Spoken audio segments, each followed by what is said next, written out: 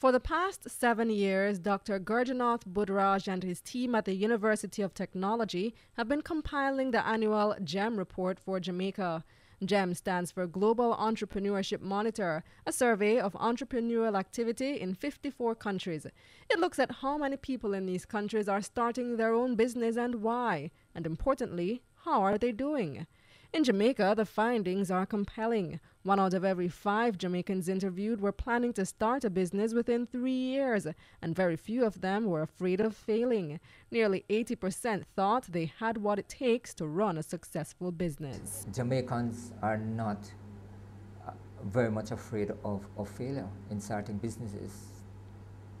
They seem to be a very brave person who are ready to take a risk. Jamaicans believe that they have the required skills and capabilities to start a business.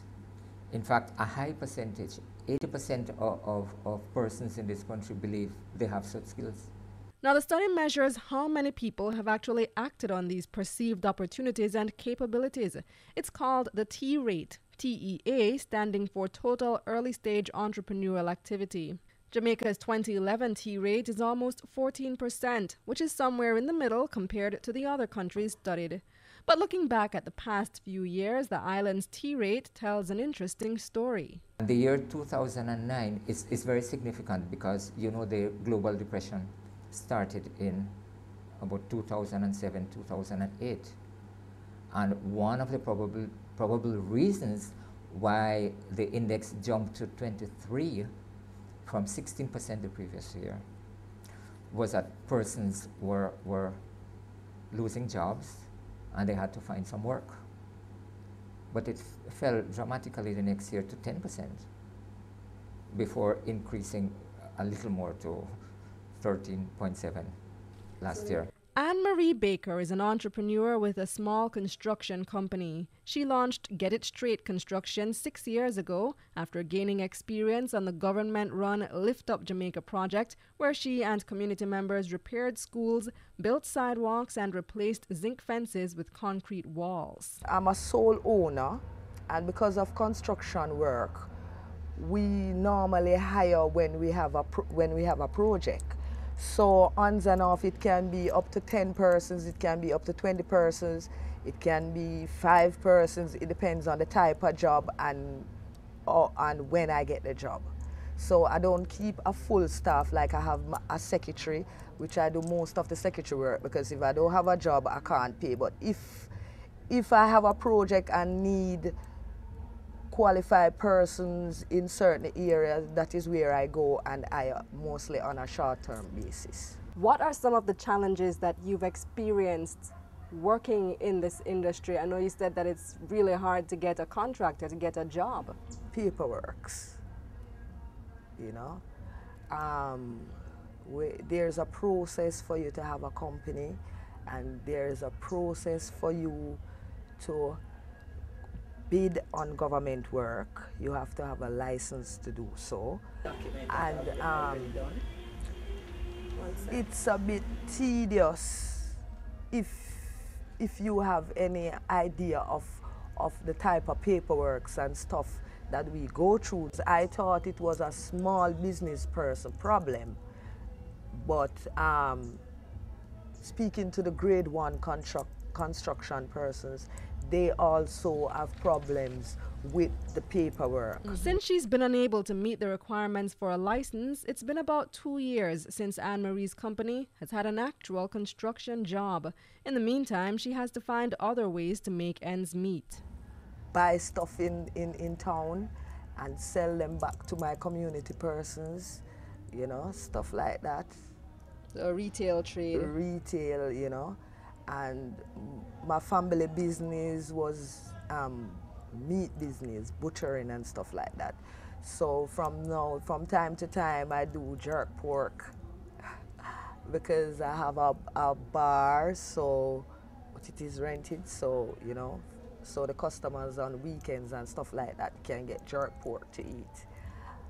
And I'm trying that, you know, just to fit in at the moment because at the moment the economy is down and we are waiting to hear what is going to go on with the IMF and all of that.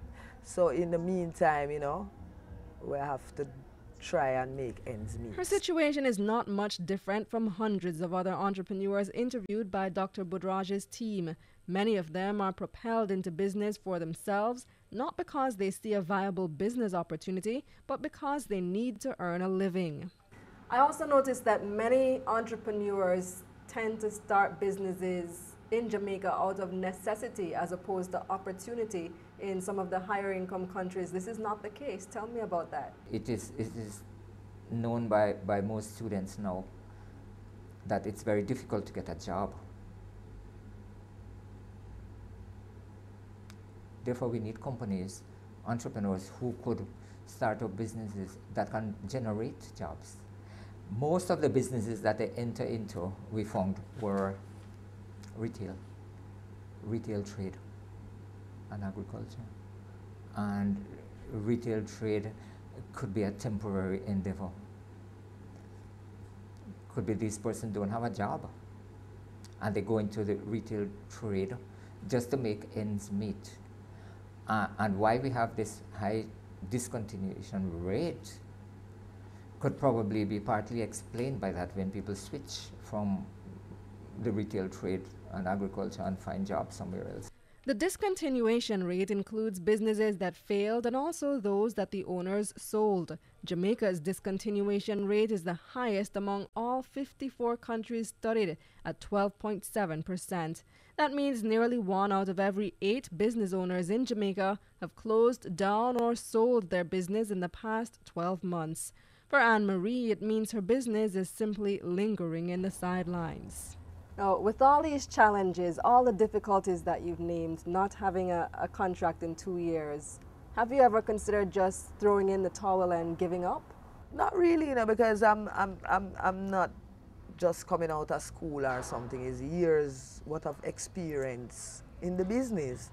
And if, if, if we don't have that, that hindrance, which is the NCC and the OCG, um, strenuous um, requirements, we'd be doing good and the country would be doing good, you know?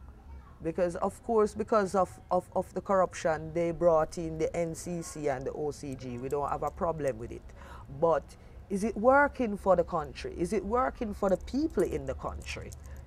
It's more like a police out there that we are paying to do to, to stop us from work. So, how does Jamaica fix these problems and nurture entrepreneurs so that they in turn can create jobs and grow the economy? I think the, the economy of Jamaica is in a very critical state at this point. If you look at international data, doing business has been especially difficult over the last few years. Government could set up some kind of, of mechanism to not fully rescue these persons, but look at the reasons for failing, maybe guide them, assist them afterwards, and see if you can put them back on their feet to continue rather than leave off. I don't think the country has an entrepreneurship policy as yet, although they are in, in the different phases of drafting out one. If I was the Minister of Trade right now, Mr. An Anthony Hylton, the Minister of Commerce, Investment and Trade, and you could only tell me one thing, what would you tell me?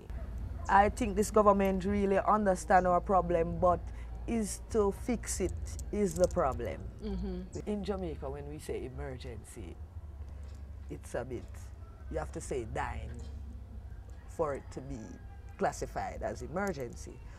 But we have had deaths because of this problem in small business. It's related, it's on, not because it's not the, prob the, the, the business who fell down here and kill you, but stress relation, a lot of stuff, you know.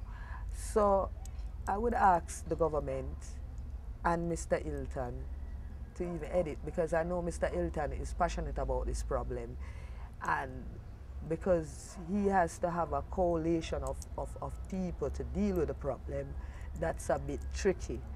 But um, it's really urgent, really, really urgent.